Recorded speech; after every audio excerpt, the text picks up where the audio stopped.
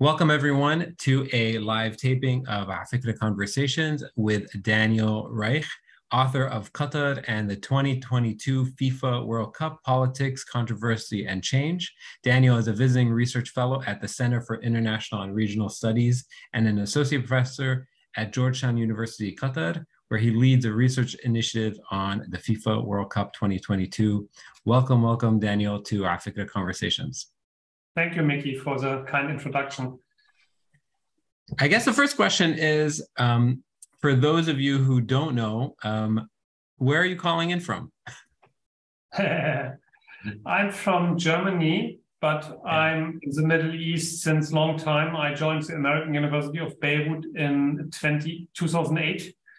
And uh, I've stayed in Lebanon 12 years until I joined Georgetown University in Qatar in summer 2020, which is the second time I'm joining Georgetown because I've my first faculty job was in 2006, 2007, a visiting assistant professor position at uh, Georgetown's main campus in Washington, D.C. Amazing. So the reason why I asked was because uh, 2020 was an interesting time to uh, join um, a university campus in Qatar. Um, but my question is for you, how long had you sort of been fixated on writing a book about the World Cup in Qatar in 2022? When did the project sort of start in your mind? Well, I wrote my first article on Qatar in 2014. Um, and my interest was to understand why does Qatar want to host the World Cup? Because um, the whole world uh, communicated what they think about Qatar being the World Cup host, and you know there was a lot of negative coverage. Um, but I was particularly interested in understanding the motives of Qatar to host the event, and that was um, the content of my first article, which was titled um, "Sport as a Foreign and Domestic Policy Tool: The Case of Qatar," published in the International Journal for Sport Policy and Politics. And uh, this book, of course, um, it's important to mention that it's written with uh, uh, Paul Brannagan, a colleague from Manchester Metropolitan University in England. And uh, of course, we just thought uh, since Paul wrote his dissertation on, on Qatar and uh, I, I, I'm based now here, so we thought we might be a good team for publishing a book that is published before the World Cup. Yeah, it's really nice. I mean, going back to um, growing up in Germany, and um, I'm sure being obsessed with football and sports as as because sports is so important to culture in Germany. Um, had you always thought about sporting events and um, international competition as a tool for crafting national identity and as a tool and sort of a playground for for politics and economics? No, um, all my degrees were in, in, on environment, uh, environment and energy policy.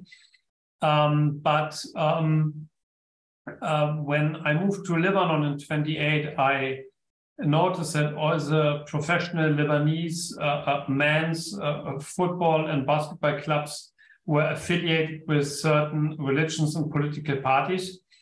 And uh, I published in 2011, 2011, of course, the research was in the year and two before, an article titled War Minus the Shooting, the Politics of Sport in Lebanon, which was my first scholarly contribution on, on sport. And then, you know, I published on a plethora of, of, of, of different issues and um, also kept teaching a class on the politics of sport and uh, so over time, it became my main research interest, although I think the majority of my citations comes from my energy work. Yeah, amazing. So let's talk a little bit about um, when, how you approach the research for 2022. Um, and up on the screen, I have um, the history of where the World Cup has been hosted since 1930. Um, yeah do you think there's something special about this year's um, this year's games that may be different and may be worthwhile for a student of the history to to keep in mind when they are studying the effect that the World Cup may have on on Qatar and the region for the next you know 20 years? Yeah, first of all, it's special that it's happening in the Middle East and in the Arab world and in a Muslim majority country. Uh, all of them never happened before. Then it's also the first World Cup in in in in the European winter. Um, I'm just saying this because when uh, people in my home country complain about the Winter World Cup, of course, it's not winter everywhere in the world. Uh, we used to have the privilege in Germany to to watch a World Cup and you know have a barbecue in the garden and put the TV out. Um, but this time, this privilege goes to people in Argentina, New Zealand, and uh, South Africa. I, I, think that's important to mention. Yeah, and apart from the geographic uh, um, and and and and uh, time of the year, um, uh, of course, what is special is that um, uh, we have a new technological feature at the World Cup with a cooling technology, which we did not have at any other uh, sporting event before. Plus, also what is interesting is the short distances uh, between the stadiums, so there won't be any domestic air travel necessary, different to Russia, Brazil, South Africa, and others. Yeah. So let's let's talk a little bit about that um, the sustainability, since that's really um, some a key part of your your academic training. And you had just mentioned this this new technology. Um, you know, part of the criticism in 2014, originally when it first came out, was how are how are the how are the athletes going to run? How are we going to keep the stadiums cool? How is that possible? Um, talk to me about this technology. What does that actually look like? Um, and how yeah, is mean, it not um, just, you know?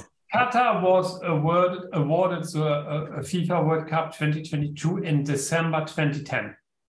Mm. And it was at that time awarded uh, a World Cup uh, to be staged in July, August of 2022. In 2015, FIFA decided to move the World Cup to November and December.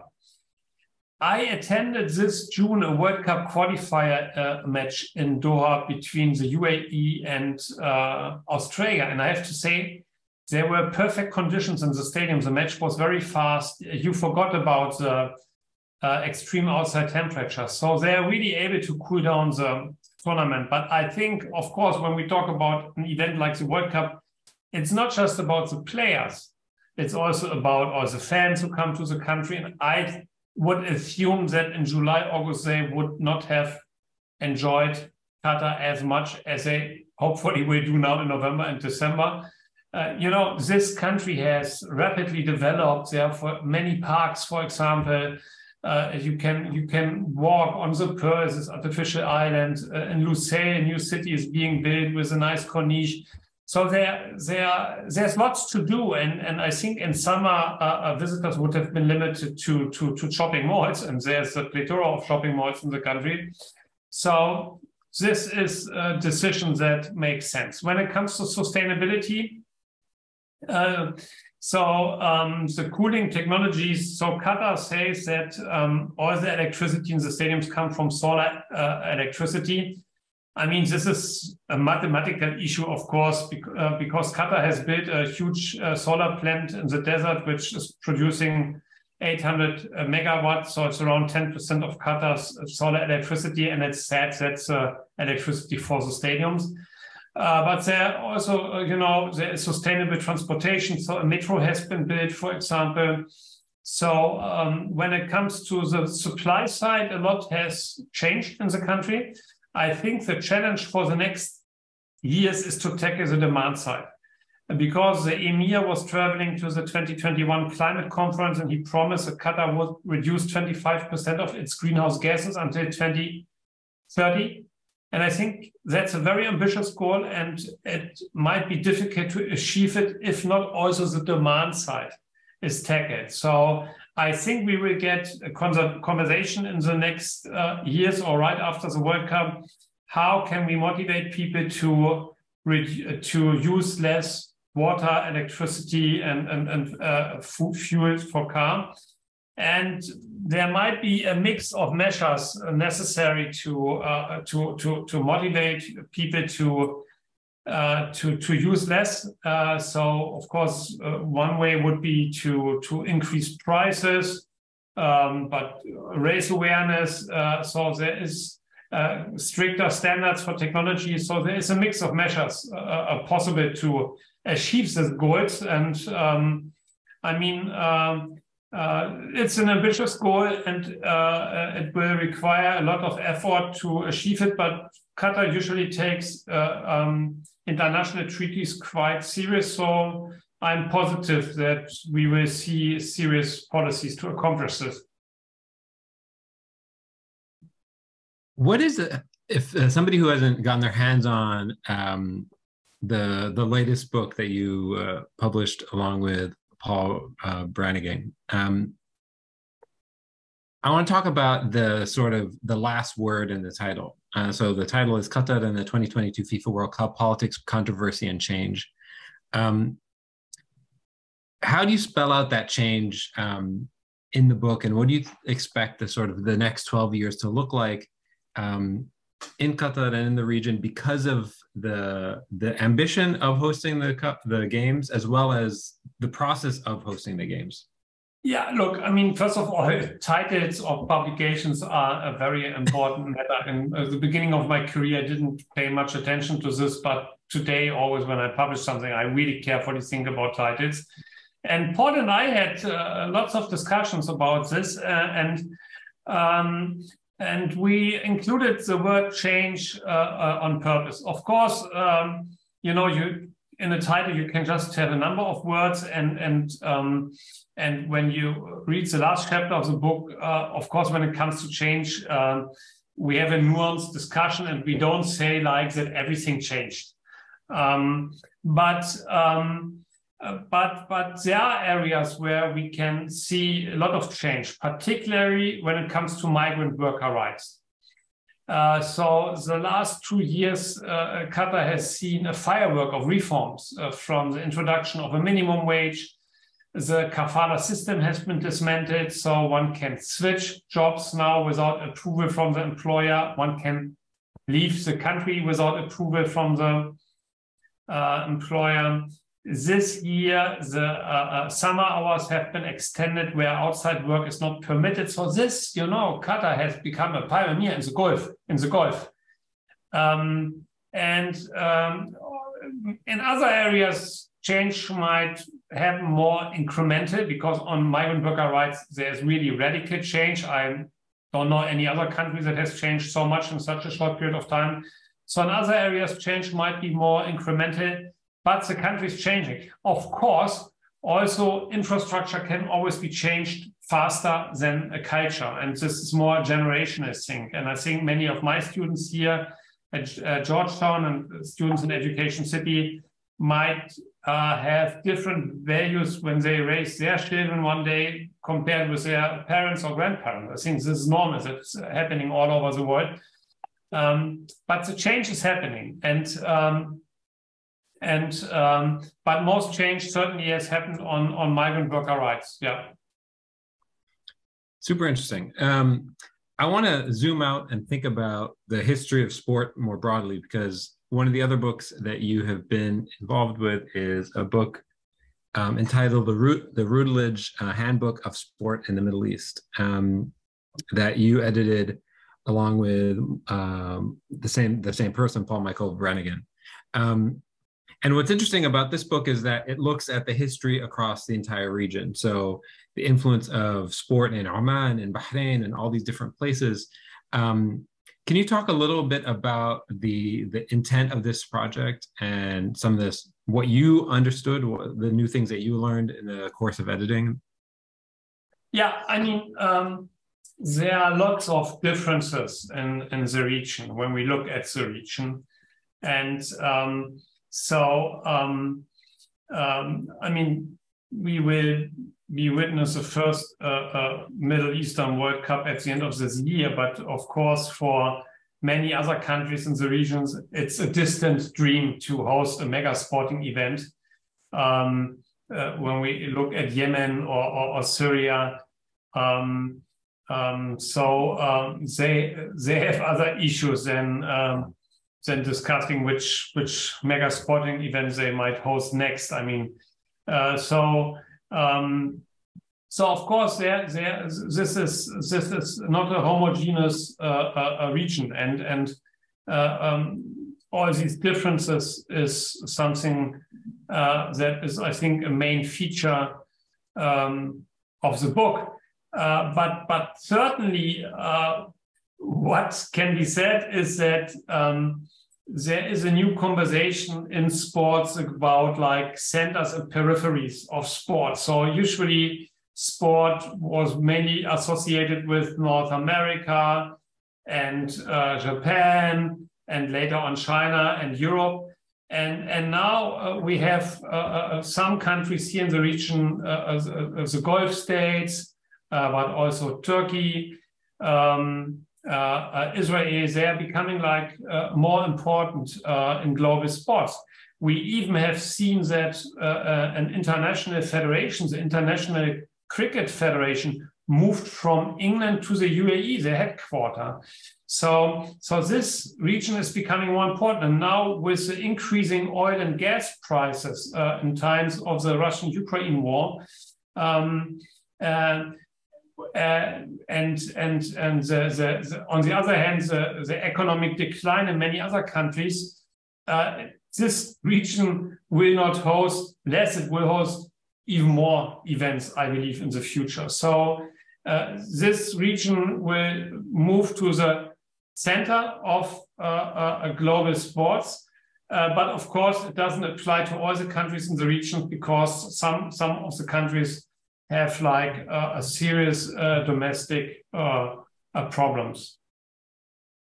Um, you know, in the in the U.S. and in Europe, um, there's a sort of the club system, right, where student uh, folks, uh, little kids, get involved in sport, and they go from you know little league or you know juniors, and they move up, and they, and that's how there there really is built a culture of sports throughout society. Um, I wonder what that looks like in places like um, like Qatar, where there are so many folks who are uh, expatriates. Yeah. So, Qatar, what have you found in your studies? Yeah, I think I think you know um, uh, Qatar um, has uh, established in 2004 uh, the Aspire Academy, which is like a big complex for uh, the development of sporting talents. And um, most of the team that will represent Qatar at the FIFA World Cup 2022 are graduates from the Aspire Academy. Also, Mutaz Barshim, the high jumper who won the gold medal at the last Olympics, is a graduate of this academy. In the academy, the Qatari citizens and long-term residents are treated equally. And um, so they both enjoy um, the support from this academy, and then if athletes are promising, they are often nationalized and, and represent uh, Qatar. And I honestly think it's a better approach to, to support people who live here, who mm. identify with the country, rather than importing athletes from wherever in the world who don't have much connection with the country. Yeah. Just on a personal note, um, how does it feel to be in Doha these days? I mean, is it World Cup 24 7? You, when you get a coffee, it says World Cup. When you get on, take a taxi, it says World Cup. Is that is that everything, uh, all that anyone can think about these days? Um, yeah, we just had like a 50 days um, event uh, yesterday here at Georgetown and uh, we celebrate the entire week the World Cup here in our atrium.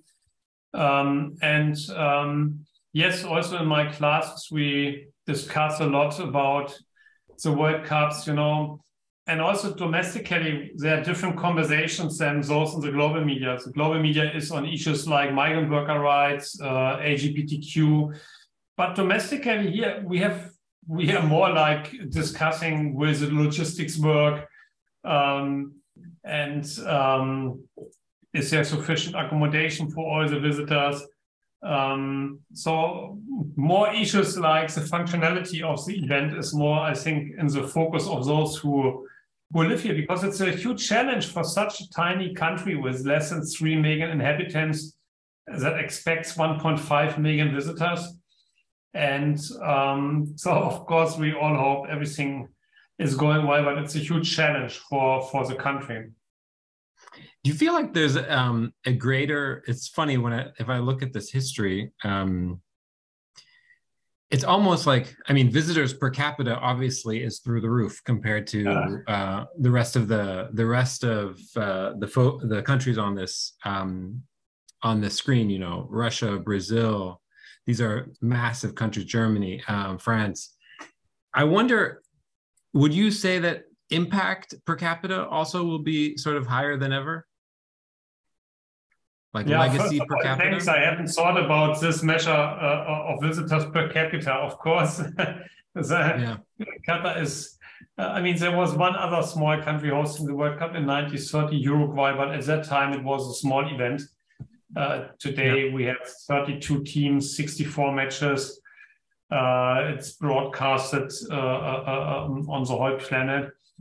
Um, but yeah, I honestly don't know any other World Cups that had so much impact on um, the host community um, as the World Cup had. But but you know, to be fair, um, Qatar Qatar's you know changes um, did not start with being awarded the World Cup in 2010. I think when it comes to migrant worker rights, we can clearly relate this to the discussion that started after being awarded the World Cup and human rights organizations, Tech in Qatar, etc. But, but for example, we just discussed Aspire Academy. It was established in 2004. Um, uh, Georgetown here opened in 2005, and it was not the first university in Education City. Education City started some years earlier. Uh, Al Jazeera, Qatar Airways, they both had their 25th anniversary recently. So with with um, the Qatar's game changer was the liquid natural uh, uh, LNG gas that it could start exporting in the late 1990s, which led to tremendous wealth. And this tremendous wealth, I believe, was in a smart way um, invested. And yeah. um, of course, the World Cup serves a many so many different purposes. That's why we could write a book about it because it's not just a World Cup like in Germany or so, where you know there was already the sporting infrastructure and they were experienced in organizing uh, big events and and um, but but um, but of course there are also issues uh, uh one can analyze around the German World Cup. But but here is like uh, uh, uh it's to be on the map, to, to, to gain influence in international affairs, uh, to punch above its weight. Um, and as we wrote, uh, to, to, contribute to economic diversification, but also to national security. So it serves so many purposes, you know. And it's also quite unique that a country is How using sport as a as a as a as a is it's, it's, quite unique that I'm sorry to finish the sentence. Uh, it's yeah. quite unique that a country is integrating a World Cup into its domestic development, but also putting it at the forefront of its foreign policy. So that's that's what I wanted to ask you. Um, how does it actually integrate? Like, if you were to explain it to a 15 year old, right? A 15 year old who who hears you say that sentence, you know, they're using World Cup uh, to integrate into their foreign policy and not just their economic policy. I could imagine a 15 year old would understand that economic. Yeah, you know, there's 1.5 million people coming, there's billions of people watching. All of that has uh, an economic uh, component to it. But the history of the political component, I, I, I would love to hear you explain that to a 15 year old. Well, uh, I'm experienced in explaining things to a 12 year old at home. Perfect, so, even better. but uh, and 12 year olds are very smart today. Um, so yeah, of course, uh, when we talk about soft power, which uh, uh you know means uh, reputation, um, uh, um, but also public diplomacy, branding, um, is difficult to measure.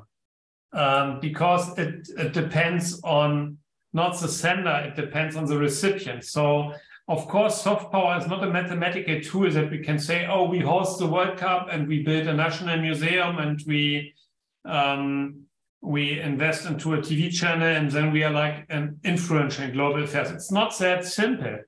Um, but um, the uh, uh, Qatar standing in the world is at the moment pretty good. And uh, this is, of course, related to different developments. Uh, last year, when we had the Afghanistan crisis, uh, Qatar played a great role in helping to evacuate uh, tens thousands of people from Afghanistan. Many Western embassies were relocated from uh, Kabul to Doha.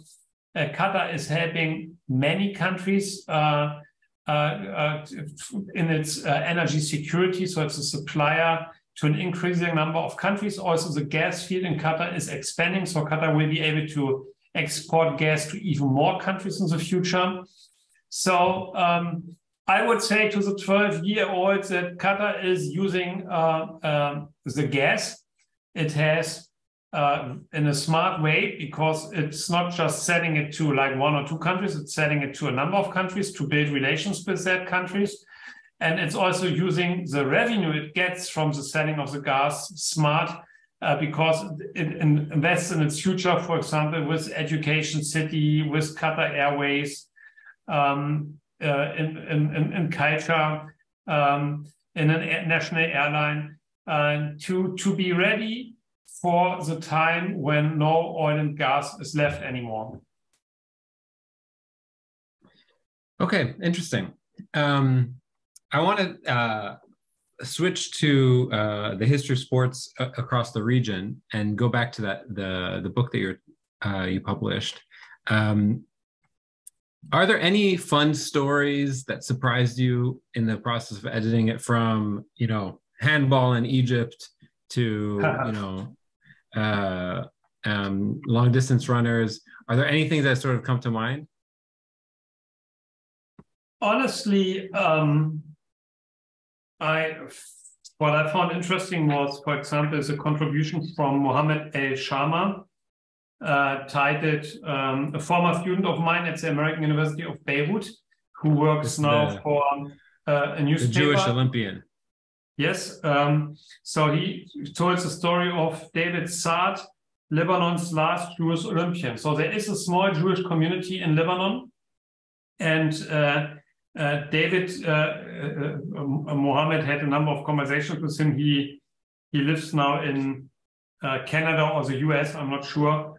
Um, and um, uh, he, uh, he, represented uh, Lebanon in the Montreal Olympics in, in 1968. And um, I found this work quite original because that's something I had not read anywhere before.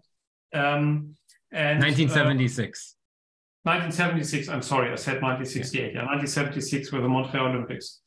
Also, then Matthias Krug, um, uh, uh, he wrote um, a contribution on um, uh, Qatar becoming uh, the runner-up at the 1981 uh, under 20 youth football championship in Australia. I think that's also a story that many people don't know. They think there was no cut, football in Qatar before, but um, so Qatar was. How is that possible?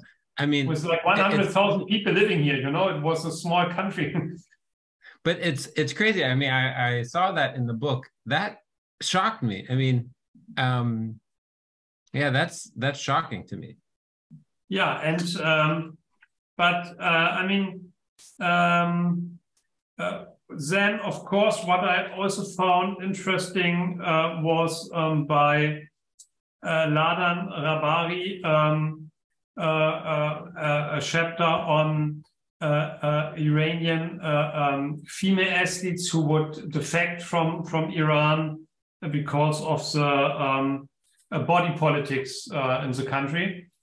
Um, so, um, but we also have uh, on disabled sport, for example, in the UAE, um, we have on, on heritage sports like falconry, uh, we have on ultra fan groups in Egypt. So on the on the on the heated derby in Israeli football between Hapoel Tel Aviv and Maccabi Tel Aviv. So there are 33 chapters, and I think there's lots to discover. Yeah. Yeah. Yeah, it's so it's so interesting because you know through Afikra, um, we talk about history a lot. We talk about culture.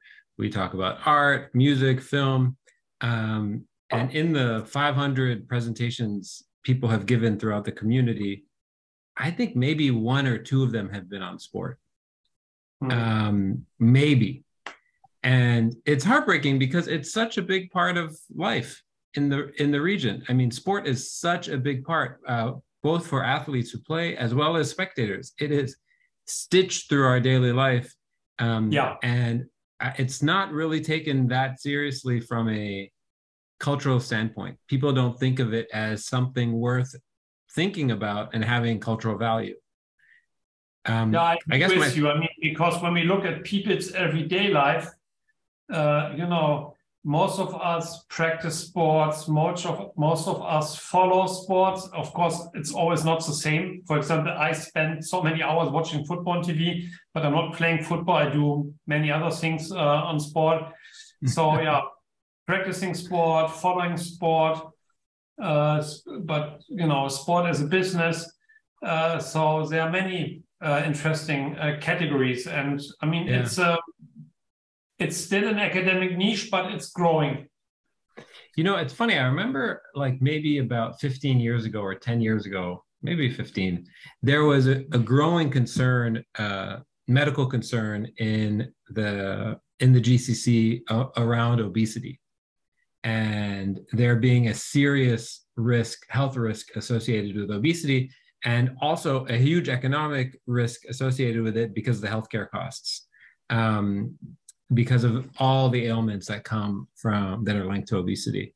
Um, so it's funny when I when I saw a very strategic emphasis placed on sport um, in Qatar, but also across across the GCC, that increasingly I figured maybe this is a strategic choice to say, no, we as a nation are athletic. This is part of our our um, our vision. Uh, you know, are these are part of our values. We are an athletic society. Have you have you heard people talk about that, or am I way off the mark? Yeah, I mean, um, it's a, I mean that's a good idea, of course, to to frame uh, the promotion of sport uh, uh as a public health issue. Uh, since uh, obesity is is, is uh, much spread in, in the entire Gulf.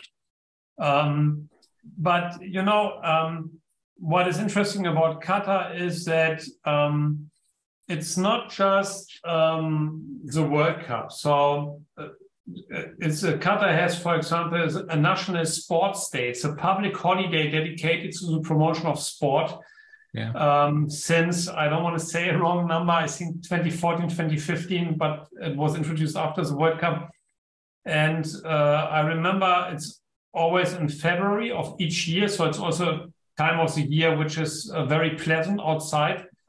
And yeah. I remember where I live, uh, my son and I, we walked around and it was crazy. So, so all the people were out and one could play table tennis. Um, uh, and there were so many uh, activities. Um, uh, there were outside sports classes. I think I did a cycling, also, a spinning class outside somewhere.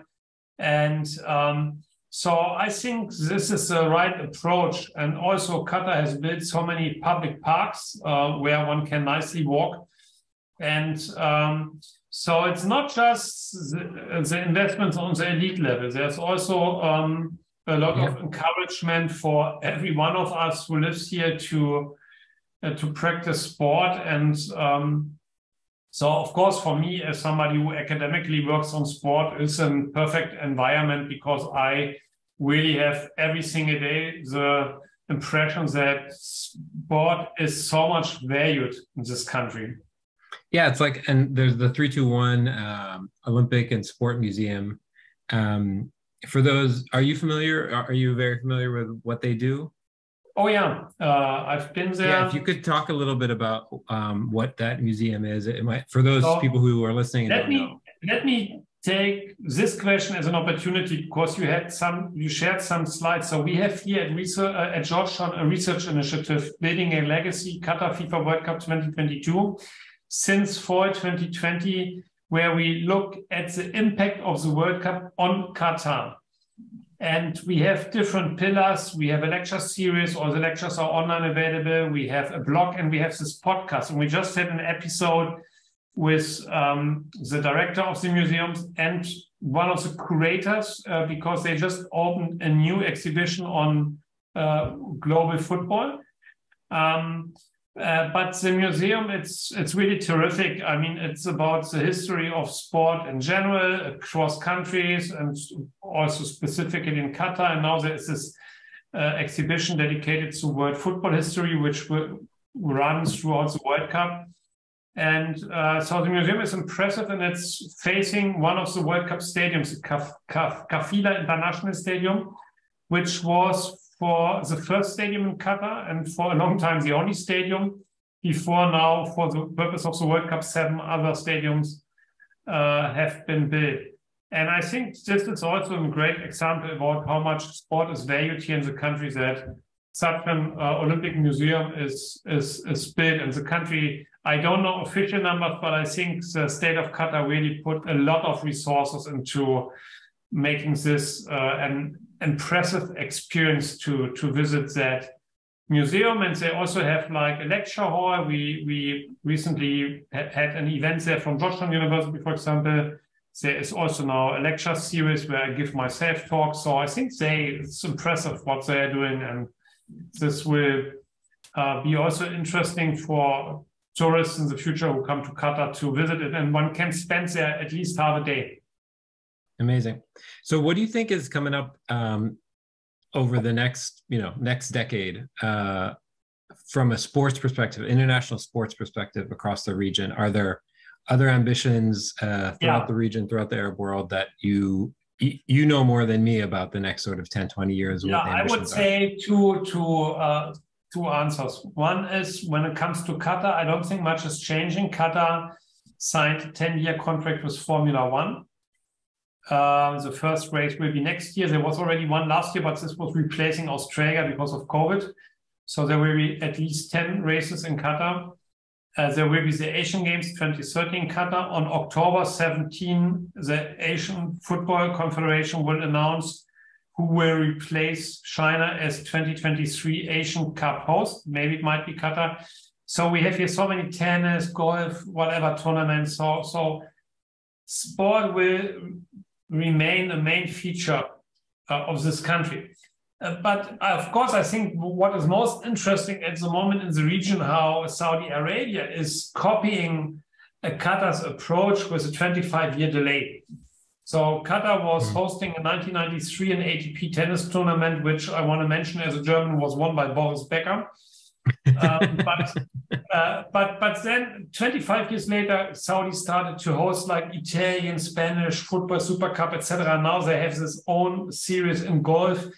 They so heavily invest into sport, so I think we will see uh, and they bought Newcastle United, uh, a Premier League club. So I think we will see Saudi as a major player in international sports. What I personally wish is that sport is not only as in the past a competition and distinction tool in the golf, but might also become something for cooperation and to, um, I mean, why can Qatar and Saudi not host sporting events together? I mean, they, they share a land border and many, uh, we shouldn't also forget when we talk about countries that many families are transnational.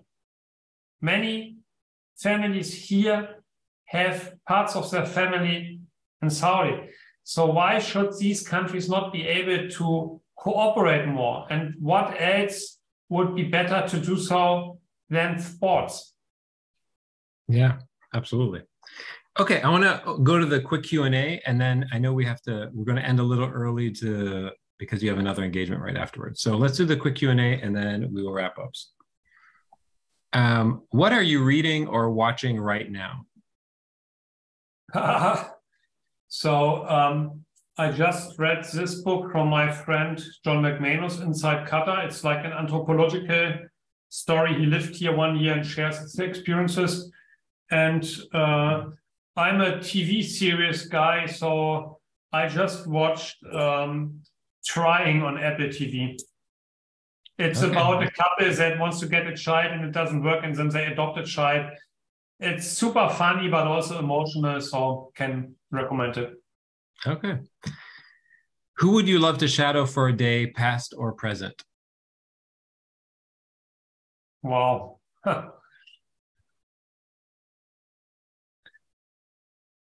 I would love to shadow the Emir of Qatar because uh, I think that um, um, he has made many uh, many smart decisions in the past, and um, maybe I could also share some opinions like the one I just did now on sport as a tool for cooperation with neighboring countries. Okay, cool. Um, what do people most misunderstand about your work? Um, that this is not really a sports book. It's just using sport to ex, uh, it's explaining through the lens of sports, politics, and society. Yeah. Do you think? Okay, so let me ask another question to this. Do you think you, as Danyel, need to love sports in order to do your job well, or is it really not about sports at all? Well, I'm I'm a sports fanatic, um, and I'm a diehard uh, fan of my local football clubs, and um, uh, look forward to watch matches at the World Cup. But no, I don't think uh, I, I know sports scholars who don't spend much time um, watching sports. I don't think it's necessary. Plus, you know, to be honest, I also wrote I also wrote articles on sports that I don't understand well. Uh, because um, as uh, uh, Markovits and Rensmann are writing in their great book on global sports, it's here somewhere in the shelves, learning a sport is a bit like learning a language. And if you haven't learned it as a child, then you struggle with properly understanding it. Yeah, so, so I wrote a couple of articles on rugby. Um, because rugby has some interesting features, like with the residence rule, that you don't need a passport of a country to represent it which attracted me as a scholar to, to, to research it. But when I watch a rugby match, there are always situations where I'm just thinking, oh my God, who can explain me this? Um, and I don't have this in football because I grew up in a football household. We were always watching football, and in football, I could explain every minor issue. So yeah, uh, that's happening. So um, yeah, so no, I don't think one needs to be sports fanatic or fanatic of the respective sport to research it. Okay. I'm going to change this last question. The last question was who do you admire or are inspired by? I'm going to change that. Who are you rooting for? My favorite football team is Hannover 96. They're playing in the second German league. I'm also following another team from my home city, which is uh, Arminia Hannover. They're just in the fifth league. You can see they are both represented on my wall um, and the German national team, of course. What I found shocking how much my um, my sporting interest is driven by my local origin and by my nationality. Because to be honest, when I watch a national team playing, it's in 95% of the cases Germany. Um, so I found it interesting how much nationality and ethnicity drives our sporting interest, including mine. Yeah, of course. Um, my last question before we before we go is is actually a historical one. I'm curious about if we just look at the screen for a second about you know the the I guess 30 of them or close to 30 uh, World Cups that have uh, taken place. Um, have there been uh, lessons that need to be learned um, over the course of the last you know 20 years or 30 years or 40 years possible negative uh, repercussions from hosting events like this these mega sporting events that we need to sort of learn from or that we have learned from? well, one lesson is every time the uh, the World Cup became bigger and the number of teams was increased from 12 to 16 to 24 to 32 now, then next World Cup 48. Every time there's an argument, oh, there might be not enough appetite for it and this might kill the sport, but the opposite is happening. I mean, this is, uh, the event is just becoming bigger and bigger. This is a truly global sport and uh, it's no problem to have more countries included in it. And um, uh, having lived 12 years in Lebanon, uh, I, I, hope that Lebanon might qualify maybe next time. So yeah, I think that's one lesson. It's becoming bigger and bigger, and there there seem to be no limits to the growth of of the game. Okay, cool. My last question to you before I let you go is what are you working on now? What's what's coming up next? Yeah, that's a good question. I mean, I, I I'm just happy that I got this two two books out this year, and um, and um, at the moment I'm really much occupied with the World Cup because uh, of the research initiative we have here. I'm uh, organizing uh, uh um, events and uh, uh, I'm responsible for this podcast and the blog and um, and we have um, launched a working group at Georgetown with scholars from both Qatar and abroad, uh, which is working on a book um, titled Moving from the Periphery to the Center, Qatar's World Cup Goals, where we discuss to what extent the World Cup is enabling Qatar to move from the periphery to the center of global sports and politics.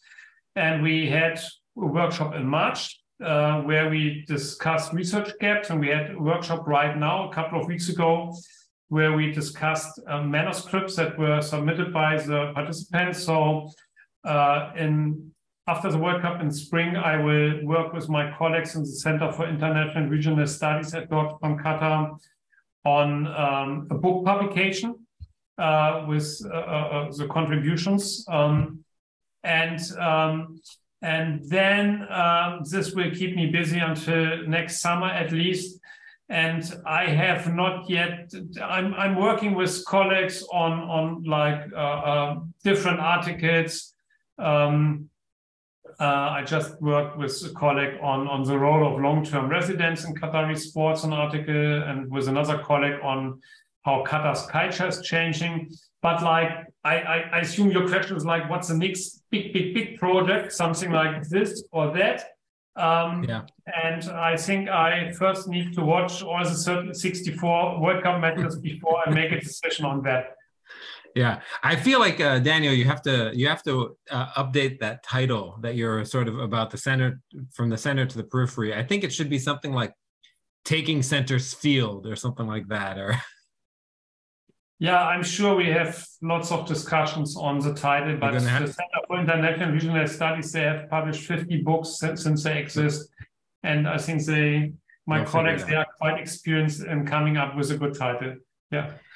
Um, before, actually, I do have one last question. If you could have attended any games in the history of, uh, you know, the last hundred years, Olympics, uh, tennis, fo- uh, football, basketball, if you could have been at any single sporting event, which one would you have wanted to go to?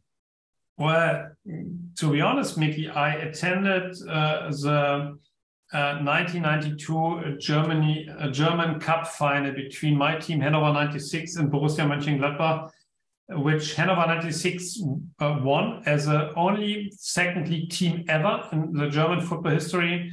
So I'm just glad that I was able to attend this historic match. Um, Amazing. And uh, there's no other match that I regret that uh, I did not see it. Um, and um, um but uh, of course, I I hope now, uh, since I live and work in Qatar, that I will also watch matches at the World Cup that I will remember all my life. Amazing. Well, Danyel, thanks so much. Uh, I really appreciate you taking the time. I know it's very, very busy for you these days in the last couple of days before, in the last weeks before the World Cup. So thanks for taking the time, and I look forward to uh, seeing you soon, hopefully. Thank you for having me, Mikey. Okay, everybody. Um, this will go up on the podcast tomorrow, and it's going to go up on YouTube uh, as well. And uh, we'll see you on Wednesday. All right, Danyel, thanks so much.